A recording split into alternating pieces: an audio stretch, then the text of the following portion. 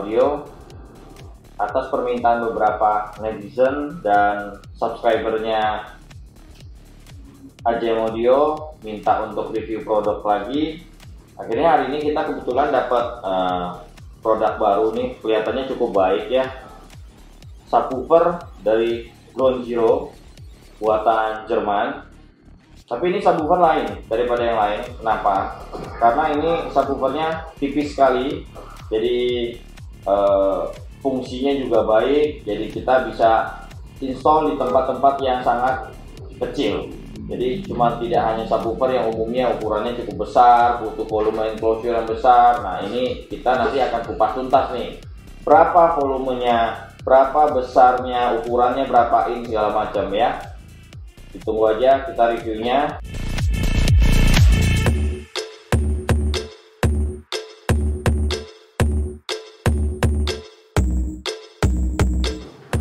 sekarang kita buka ya guys subwoofernya. Seperti biasa, packagingnya cukup bagus ya. Ini packaging langsung dari Jerman dengan ada uh, QC pass dari Audio Plus. Cukup bagus packingnya.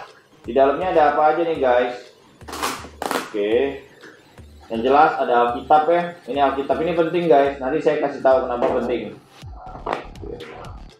Terus uh, cukup aman juga untuk packagingnya di dalamnya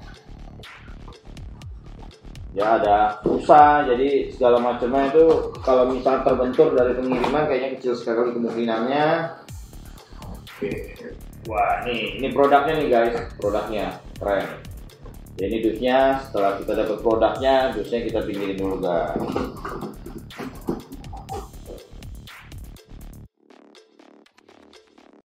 Kita buka ya plastiknya guys. Ini plastiknya masih keren kita buka dulu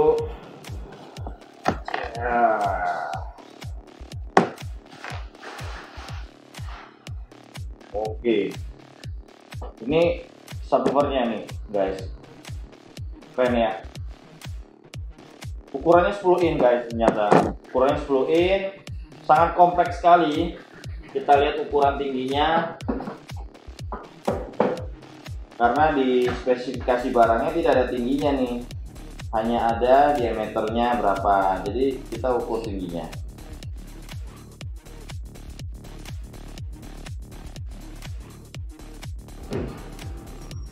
Tingginya hanya 10 cm guys. Tingginya hanya 10 cm jadi cukup-cukup slim ya untuk dipasang di dalam mobil yang kabinnya terbatas ruangannya terbatas Contohnya nanti kita akan pasang di Toyota Moxi di tempat standarnya yang sangat-sangat kecil. Jadi kita bisa dapetin suara bass yang tetap deep tetap ada impactnya dan nanti kita juga review suaranya di Foxy. Oke okay, guys? Untuk spesifikasi. Nah spesifikasinya apa aja nih? Ini yang disebut dengan Alkitab. Biasa orang kalau bikin audio Alkitabnya dibuang dulu tanpa memikirkan apa spesifikasi yang ada di dalam ini. Bagi saya ini sangat penting guys. Ya, ini sangat penting. Ingat ini sangat penting karena ini adalah spek daripada apa yang harus dilakukan terhadap enclosure-nya si subwoofer. Oke, kita harus mengerti dulu kalau uh, subwoofer ini menggunakan aluminium dust cap ya. Kelihatan ya ini adalah aluminium dust cap. Kenapa dikasih aluminium? Speednya akan jauh lebih baik daripada menggunakan cone. Dan hasilnya tetap clean guys untuk subwoofernya. Terus dia menggunakan push terminal. Nah ini push terminal nih, keren. Push terminal. Oh iya, subwoofer ini double coil, double coil 4 ohm.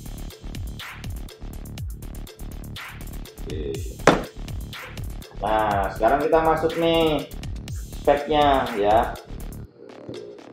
Impedannya tadi jelas ya, double coil 4 ohm jadi bisa diajak bermain di 8 ohm, 2 ohm atau 4 ohm. Kalau 4 ohm berarti menggunakan single voice coil. Jadi hanya dikonekkan satu single voice coil saja.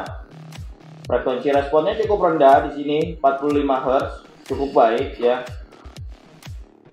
Terus dia punya yang paling penting kita lihat dia punya uh, powernya. Butuh berapa watt dia minimalnya?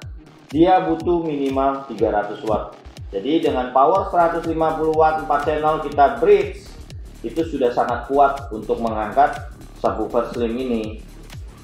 Oke terus dia punya SPL nya cukup kencang ya sekitar 87 dBan Nah, kita bahas sekarang apa nih enclosure-nya yang paling penting. Subwoofer akan enak didengar kalau enclosure-nya benar, kalau volume box-nya benar. Jadi, dengan subwoofer slim dengan tebal hanya 10 cm, box yang cocok apa nih untuk si Grand Hero ini? Jadi, saya sudah pernah beberapa kali untuk membuat subwoofer slim ini dan saya rasa box yang paling kecil dan paling cocok untuk dia adalah silbox silbox ya. Ukurannya berapa? Silboxnya ini kecil sekali sangat-sangat kecil. Bayangkan saja hanya 14 liter guys. 14 liter itu cuma 0,5 kubik. Ya. Jadi keren ya. Jadi kita punya bagasi kecil terus kita mau pasang subwoofer kita terbentuk akan ruang. Nah solusinya pakai subwoofer slim. Boxnya bagaimana? Boxnya seal. Berapa besarnya? Ingat dia ada di 14 liter ya sekitar 0,5 kubik. Jadi tidak perlu dibikin sampai besar-besar volumenya terus uh, apalagi nih guys yang penting. Kalau frekuensi responnya nanti bisa download aja speknya di websitenya Grow Zero guys. Jadi kita nggak apakah ulas tuntas seperti itu. Yang jelas secara diameter dia adalah 10 inch subwoofer power handlingnya adalah minimal 300 watt yang artinya dengan power amplifier 150 watt per channel kita beri saja dia sudah cukup. Enclosure-nya sangat kecil ingat ya enclosure-nya sangat kecil 14 liter yang sekitar 0,5 kubik feet. Terus apalagi uh, yang paling penting kon tengahnya guys. Kon tengahnya menggunakan aluminium. Fungsinya apa? Subwoofer speednya tetap baik. Kualitas suaranya tetap terjamin, tetap clean, tidak kotor subwoofernya. Dan ada lagi spek selanjutnya yaitu double coil 4 ohm. Jadi double coil 4 ohm ini uh, kansnya untuk installer untuk bermain di sini bisa bermain di 8 ohm, bisa bermain di 4 ohm, bisa bermain di 2 ohm ataupun bisa bermain mungkin di 1 ohm.